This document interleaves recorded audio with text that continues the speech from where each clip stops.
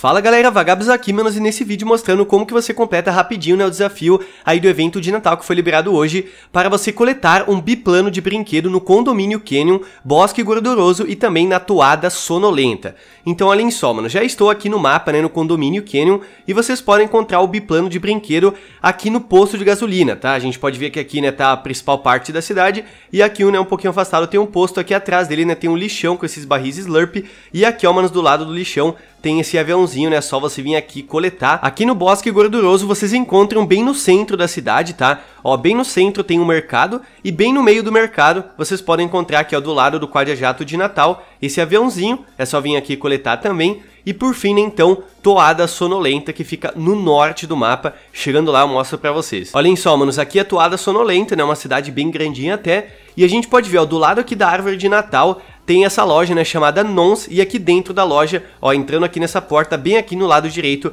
vocês podem encontrar esse terceiro aviãozinho. Então é só vocês coletarem os três aí que eu mostrei os locais exatos, né, bem de boas, que você completa a missão, beleza? Então é isso, mano, se você gostou e de alguma forma te ajudou, deixa o likezão porque me ajuda muito aí também. Então é isso, manos, valeu, falou, se eu fui!